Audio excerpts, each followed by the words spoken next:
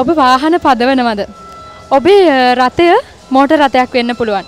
එහෙමත් නැත්නම් මෝට බයිසිකලයක් වෙන්න පුළුවන්. එහෙමත් නැත්නම් අ, එවැනි අ, තවත් ඊට සමාන අ, තවත් අ, වෙනත් අ, වාහනයක් වෙන්න පුළුවන්. මේ මොකක් වුණත් ඔබ ඔබේ වාහනය අ, මාර්ගයේ පදවගෙන යනකොට අනතුරක් වුණොත් අපි මොකද කරන්නේ?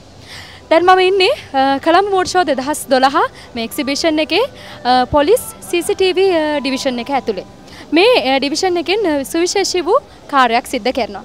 ඔබ දන්නවා අ, ලංකාවේ ප්‍රධාන නගරවල ඔවුන් අ, සවි කරලා තියෙනවා විශේෂ CCTV අ, තාක්ෂණික අ, මෙවලමක්.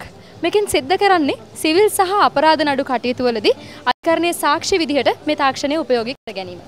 අ, මොකක් හරි අපි හිතමු රියානතුරක් සිද්ධ වුණා කියලා. රියානතුරක් සිද්ධ වුණාම අ, මේ රියානතුර සම්බන්ධයෙන් අ, විශේෂ සාක්ෂි සොයා ගන්නට පුළුවන් අ, මේ CCTV තාක්ෂණය මගින්. ඒ වගේ විශේෂ අ, තාක්ෂණික අ, ක්‍රමයක් තමයි මේ පොලිස් CCTV අ, තාක්ෂණය කියලා කියන්නේ. ඉතින් මේ වගේ අ, බොහොම අපූරු තොරතුරු ඔබට අ, දැක බලා ගන්න මේ වගේ අපූරු අ, දේවල් වල මේ අත්දැකීම අ, විඳ ගන්න ඔබට අවස්ථාව තිබෙනවා.